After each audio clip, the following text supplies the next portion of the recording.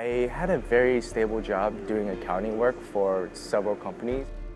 I was working at Apple retail store for about two years. I finished university in Boston, um, at Northeastern University, studying economics. I realized it didn't, isn't what I wanted to do.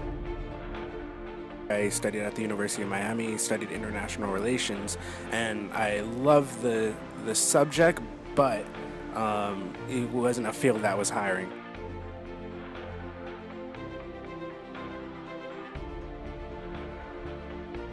I had this nagging feeling for like quite a few months that there was just something wrong and I thought that that just might be the dogma of like growing up is uncomfortable or like I, I wasn't really sure. After a certain point I, I, I started to realize that by staying I wasn't allowing myself to be challenged with that time. So I just took it upon myself to say like I'm not going to spend more days worrying about not being challenged, I'll just start being challenged today. It was, yeah, it was intense.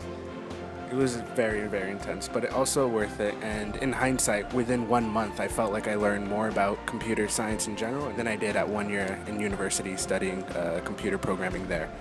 There's a peer pressure here, but not in a conventional sense. It's very aggressive in the sense that everyone wants to learn and everyone wants you to learn, but you're not competing with other people. You want to solve the problems, mm -hmm. um, and you also have a group of other people that are equally as yeah. motivated, and it sort of feeds itself. It's not designed for you to succeed. It's actually designed for you to fail, and the point is for you to not only fail, but the point is to want more. There's an old saying like, um, we're code monkeys here at 42.